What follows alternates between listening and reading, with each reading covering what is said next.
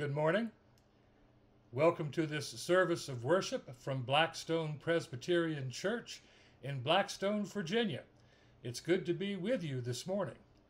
Uh, I will be away the next couple of weeks, but we'll be back on December 2nd. So that will be the next time that we, uh, we send a service of worship out into the internets. So uh, I encourage you to look around. Uh, there are a lot of folks doing some awfully interesting things uh, with online worship. It's not uh, our preferred venue, but uh, it is uh, a place where we really can come together and worship God.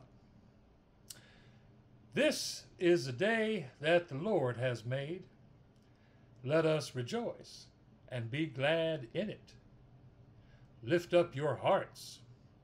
Lift up your hearts to the Lord. Let us pray. Almighty God, we give you thanks for the ability to come together and worship, come together to praise your name, come together to thank you for all the goodness in this world, when so often we feel a bit overwhelmed by those things that are not so good. Bless this time together. In Christ's name, Amen. We take responsibility for, uh, for those things that we do which we should not do, and those things we don't do that we should do. And we do it on a regular basis, hoping to make it a habit. If we say we have no sin, we deceive ourselves, and the truth is not in us. But when we confess our sins, uh, we make glad the heart of God, who is ready to forgive. In humility and in faith, let us take a moment of silent confession.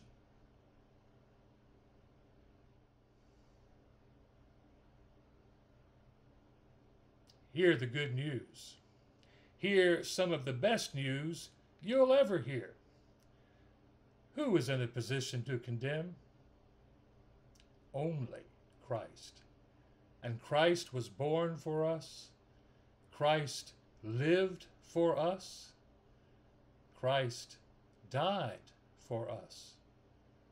Christ rose for us. Christ reigns in power over us. Christ prays for us. I declare to you, in the name of this Christ, you are forgiven. Know that you are forgiven and be at peace. Since Christ has forgiven us, so we make it a habit to forgive each other.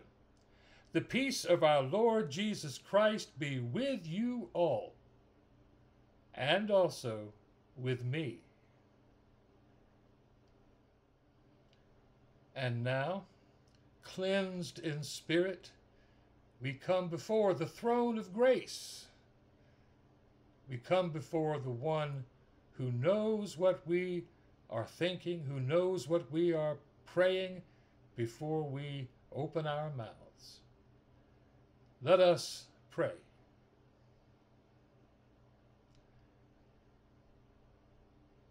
Dear God,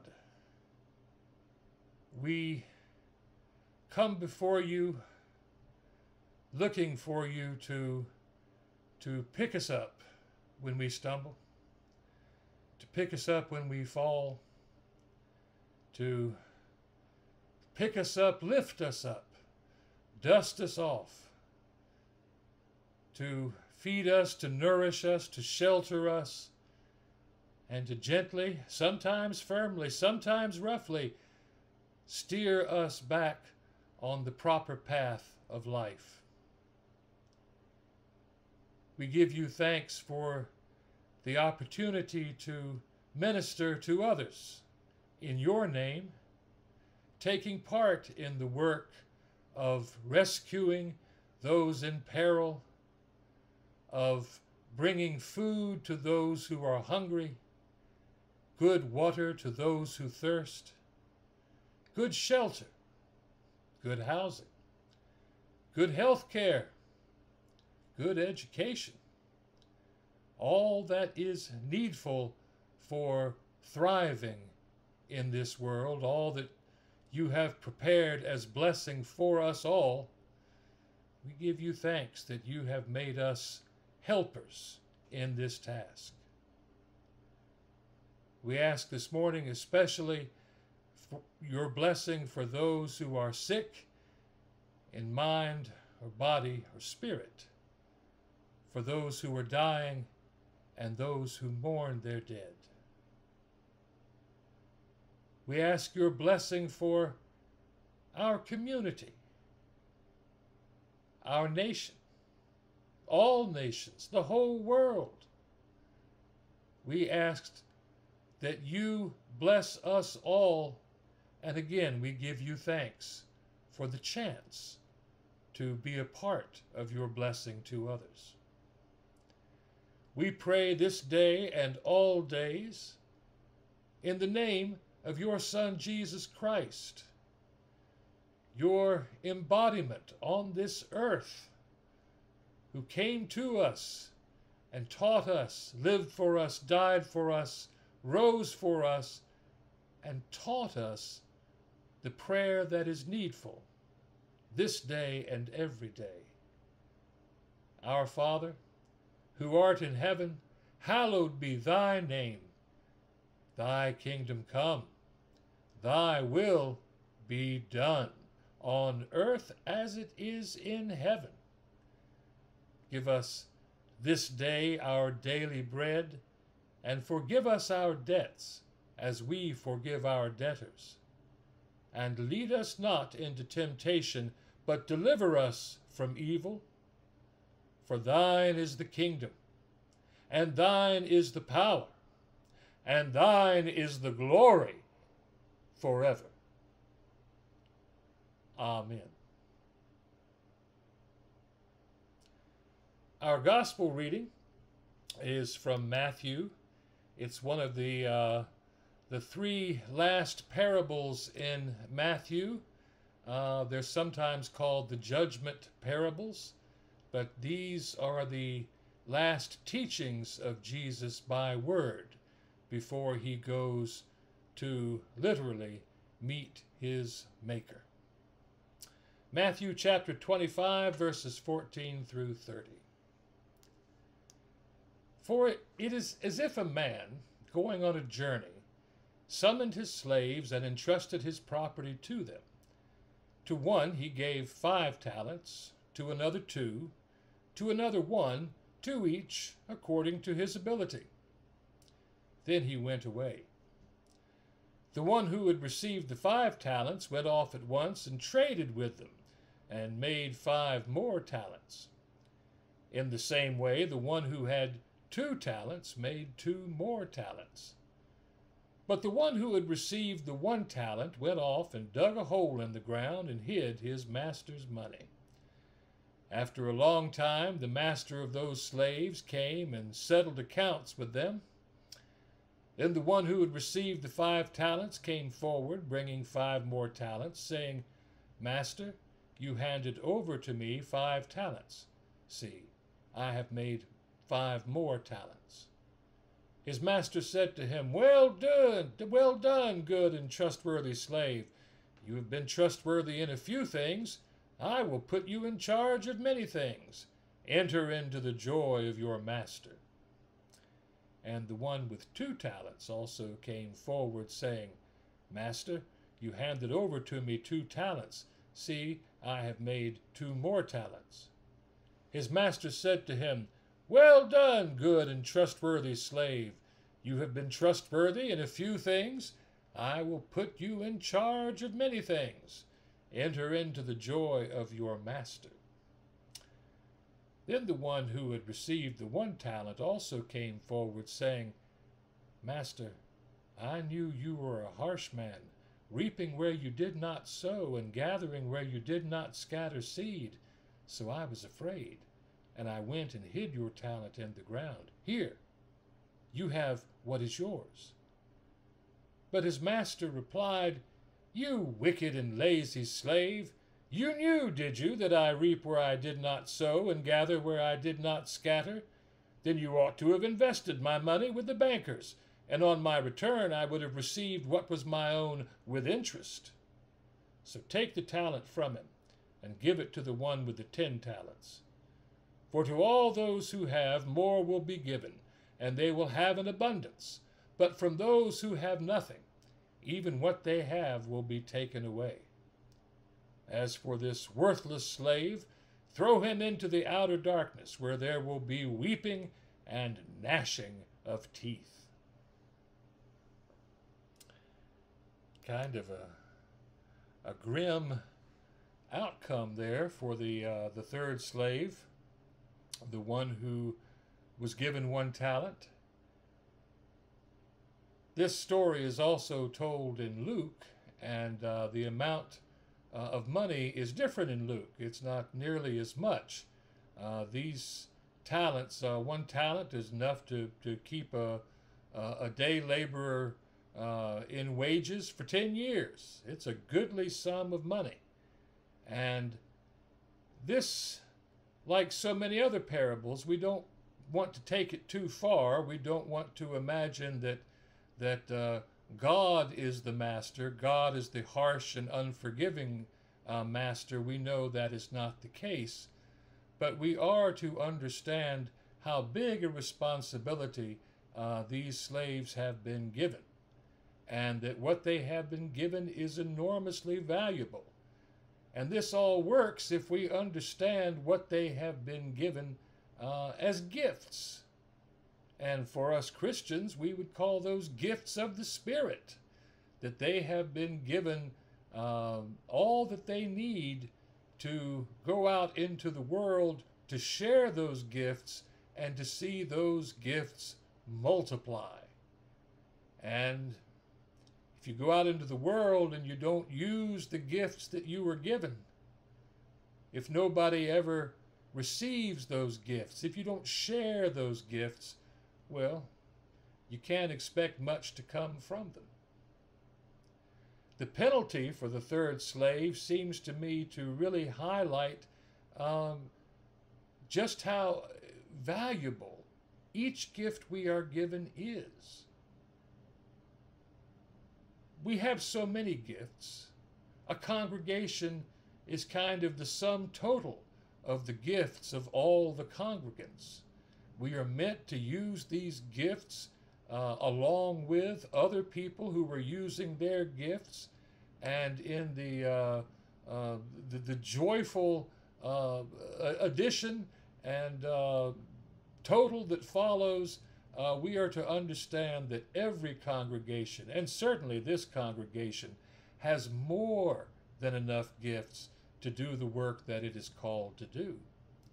Yet, if we hide these gifts, if we do not share them, uh, our work will never be finished. Once upon a time, there was a preacher um, who endeavored always to be frugal and prudent in some things so that he could be generous in other things.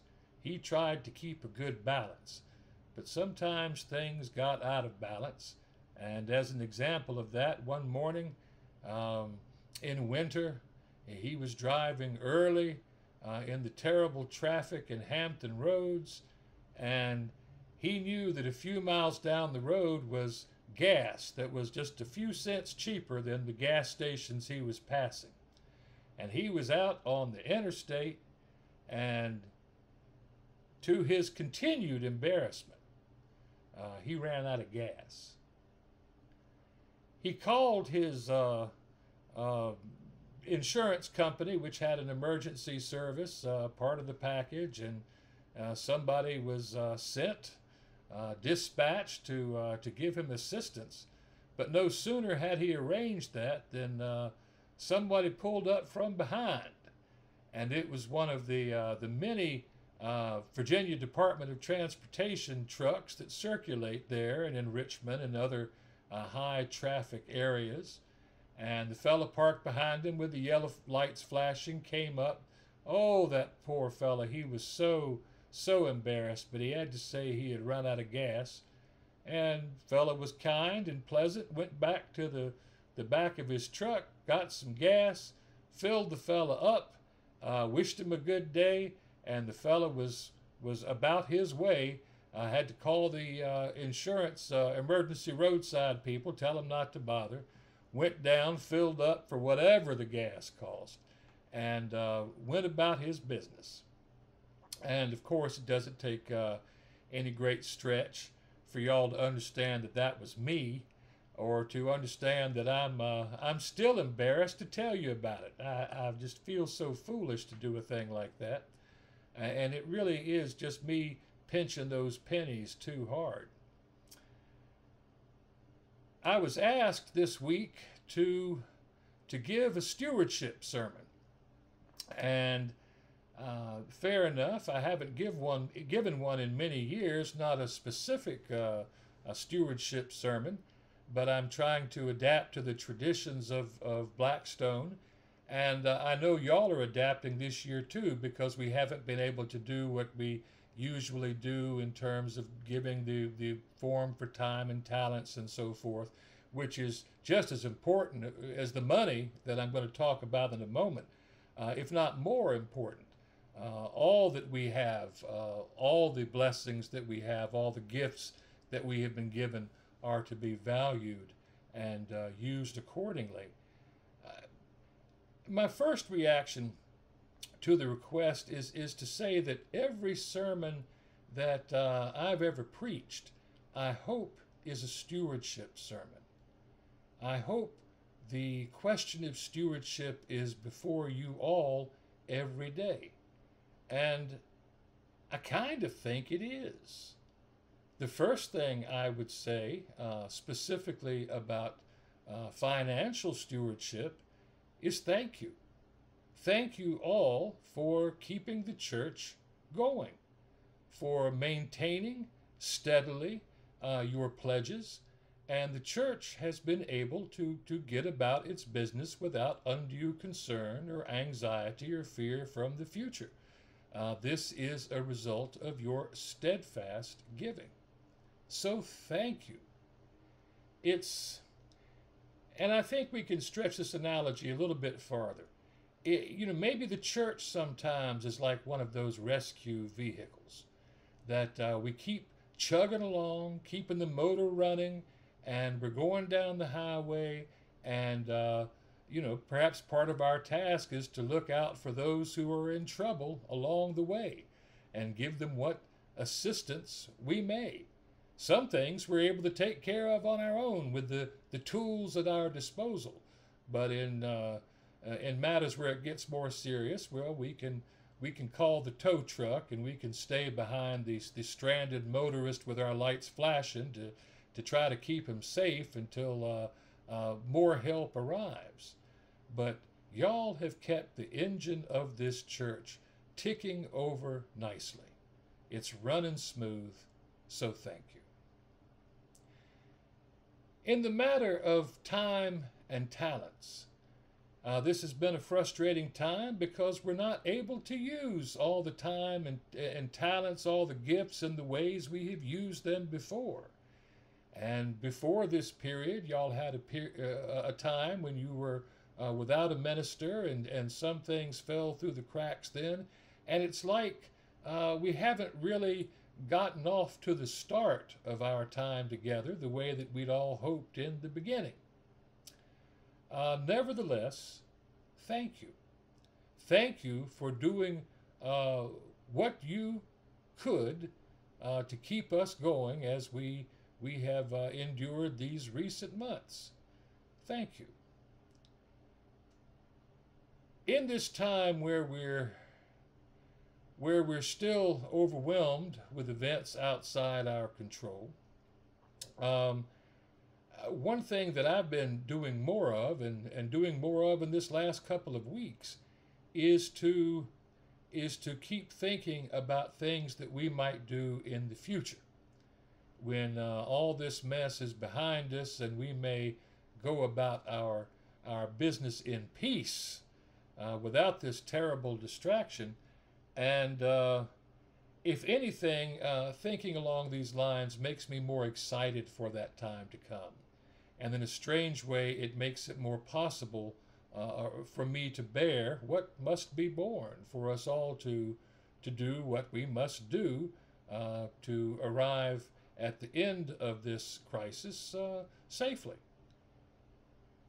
But there's also a place, and uh, this is as good a time of year as any to think about it, uh, for continuing to think of new ways to reach out to others, to reach out to the community, uh, to keep our lines of communication open and healthy. And again, I thank you. I thank you for watching this service online. It's not uh, uh, my favorite uh, way to to be with you in worship, but it is real worship, and it's a kind of worship that I certainly never knew before this year, uh, and I see the possibilities. But right now, I think our our principal need is to uh, to have a good Christmas. You know that old uh, Christmas song, Cause we need a little Christmas right this very moment. I'm feeling that one like never before. Uh, to that end, we've already uh, figured out that we're going to have a, a, regular Christmas Eve service at 9 o'clock on Christmas Eve. Uh, it will be an abbreviated service of lessons and carols. We'll, we'll uh, tell the old, old story and we'll put a few hymns with it. We'll share communion. Uh, the week before, uh, the exact date and time to be announced, uh, Will Pierce will uh, will play some Christmas music in the sanctuary, and folks will be welcome to come in and, and just listen. Uh, we're also thinking of one or two uh, things for the children. maybe I'll do some Christmas carols for them, and if so, I'll I'll do it through the internet, and we'll we'll put it out for you as well. But uh, the session and some of the deacons met this week, and, and they had so many good ideas, and uh, I try to add in my two cents worth. But we look to you. We look to you all uh, to see something that we've missed.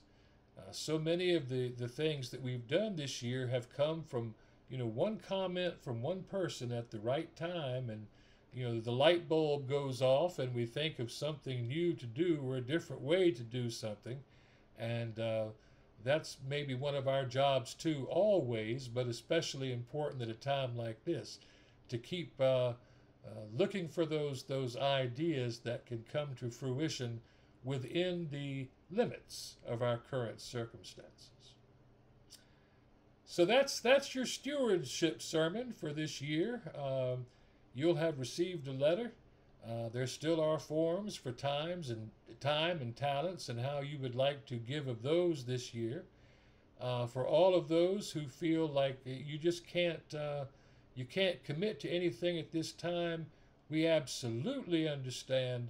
But I remind you that uh, the one thing that you may always do, uh, the one thing that is perhaps the most essential thing that we do do, is to pray To pray for this church, to pray for the leadership of the church, to pray for this community, to pray for this nation, to pray for this world.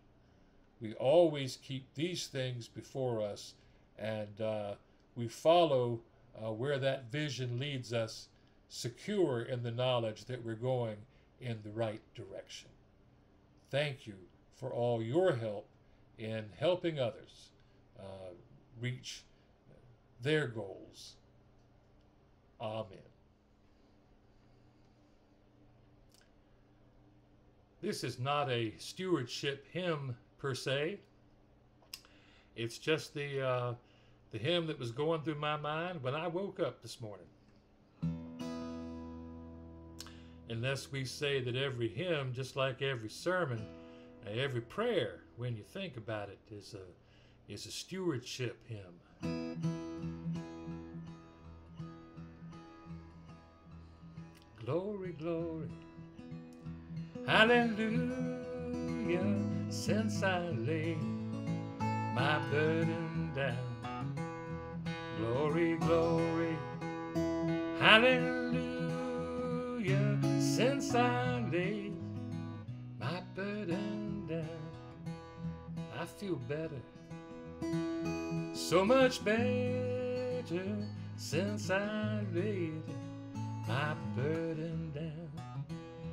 I feel better, so much better since I laid my burden down. No more fear, no more worry since I laid my burden down. No more fear, no more worry since I laid my burden down.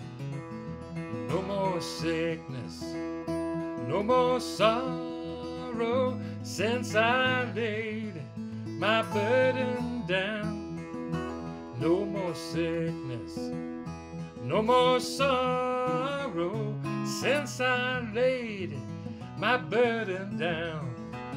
Glory, glory, hallelujah, since I laid my burden down.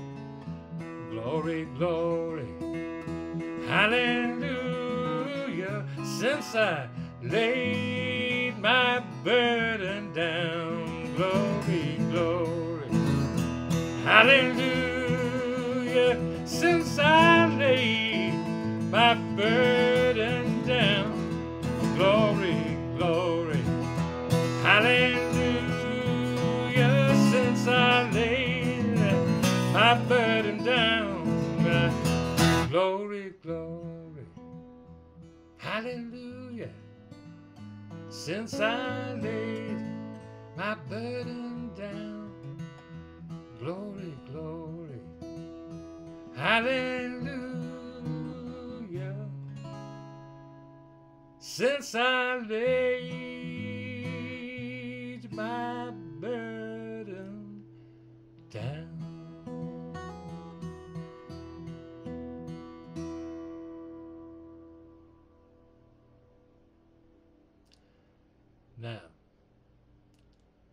love of God, the grace of our Lord Jesus Christ, and the fellowship of the Holy Spirit be with you now and always.